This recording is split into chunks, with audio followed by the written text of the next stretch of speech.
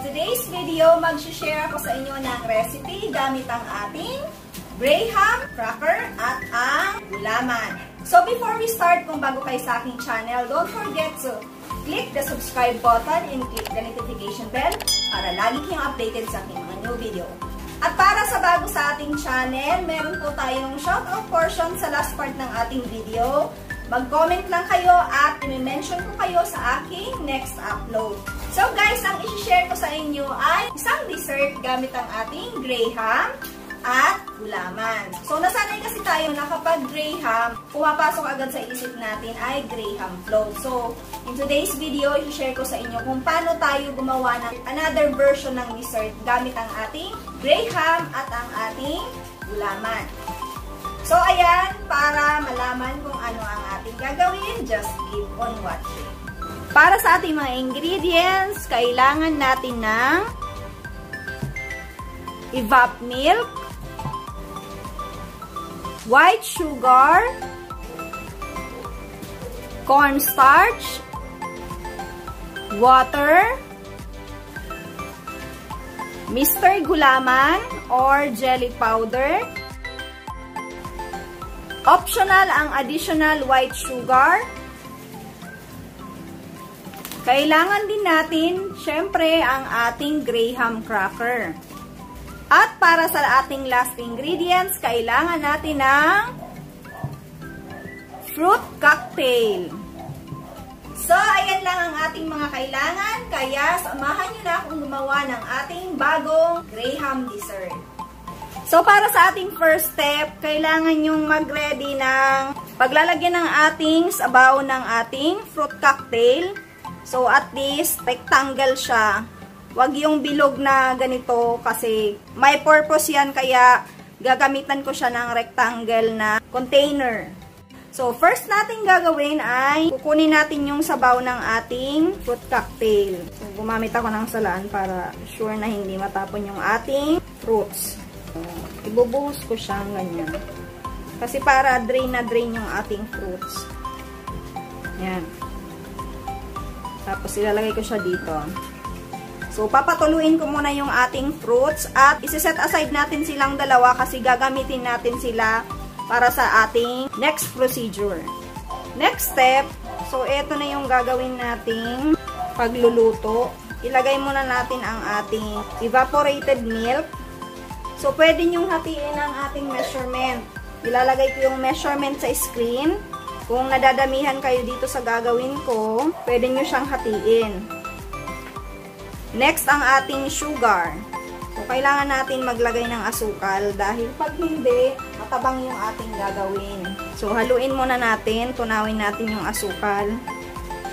Make sure na natunaw natin ang asukal bago natin to isasalang. So, after nating matunaw yung asukal, pag tunaw na siya, or kaunti na lang yung buo-buo niya, ilagay natin paunti-unti yung ating cornstarch.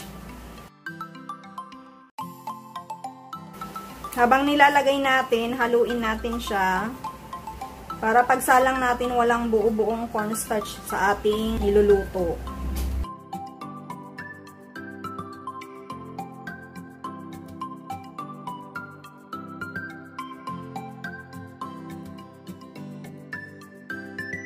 So, ayan, wala na siyang buo-buo, wala nang buong cornstarch. Pwede na natin tong isalang sa ating apoy. So, ito ay ready na lulutuin na natin siya. So, bago ko i-on yung ating apoy, hahaluin ko muna siya para yung cornstarch sa ilalim na buong mahalo muna. So, i-on ko na yung apoy natin. Medium fire muna, tapos ililesen ko to mamaya pag medyo nabubuo na siya babawasan ko into low heat. So, continue halo lang to hanggang sa mag-thick na yung ating custard. So, kung mapapansin nyo, thick na siya. So, lumapot-lapot na siya. Hinaan nyo yung apoy. I-set nyo into low heat. Kasi baka masunugan kayo. Pag medium heat na, tapos malapot na yung inyong custard. So, ito ay papatayin ko muna siya. Pero hindi pa ito yung consistency na gusto ko. dahil gagawa muna ako ng gelatin. Ire-ready ko kasi pag linuto ko na tong yung consistency or yung thick niya, yung ready na para sa ating dessert, masyado tong malapot mamaya. So, papatayin ko na siya ng ganito. Ganyan yung consistency niya. So, para sa ating gulaman, kailangan natin ng water. So, hindi pa naka-on yung ating apoy. Ang ating Mr. Gulaman. So, mix agad para hindi siya mabuo. Then, ang ating optional yung additional sugar ah. Kung gusto nyo may lasa pa yung inyong gulaman, pwede kayo mag-add ng sugar. So, kung ayaw nyo naman na may sugar, pwede nyo tanggalin ang asukal. So, para sa pagluluto ng ating white ulaman,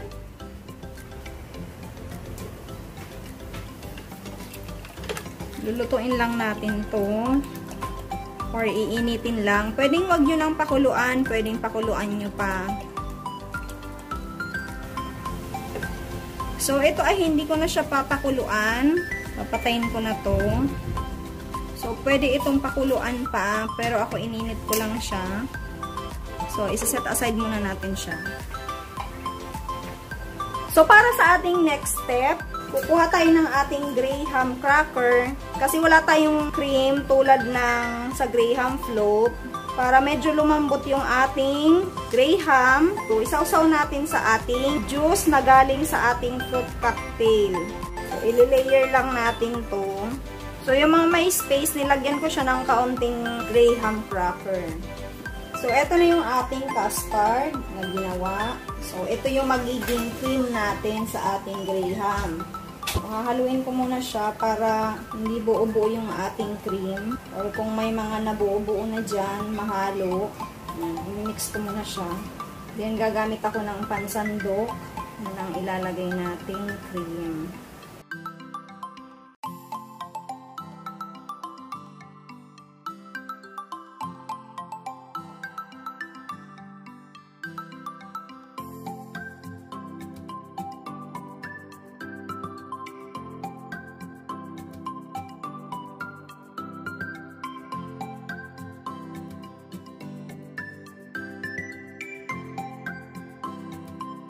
So, para sa ating last step, ilagay natin yung ating mga mixed fruits. So, depende na sa inyo kung gaano kadami ang gusto nyong ilagay.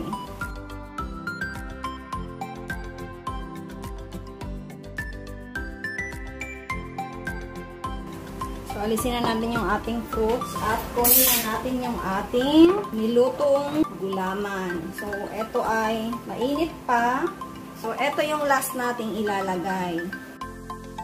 So, kahit mainit pa to, ilalagay ko na siya dito. So, pupunuin ko siya.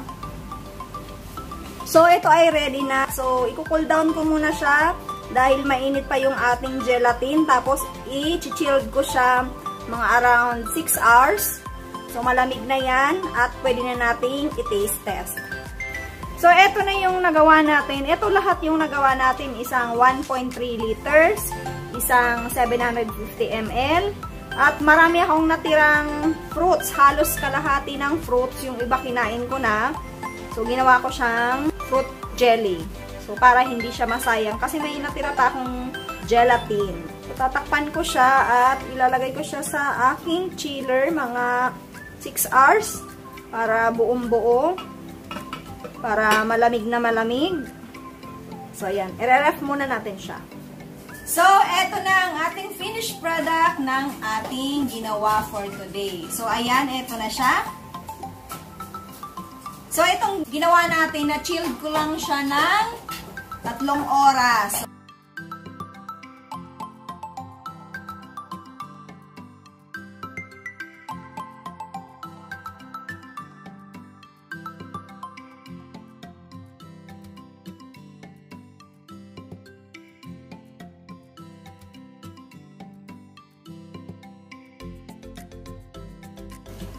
So, titikman na natin siya.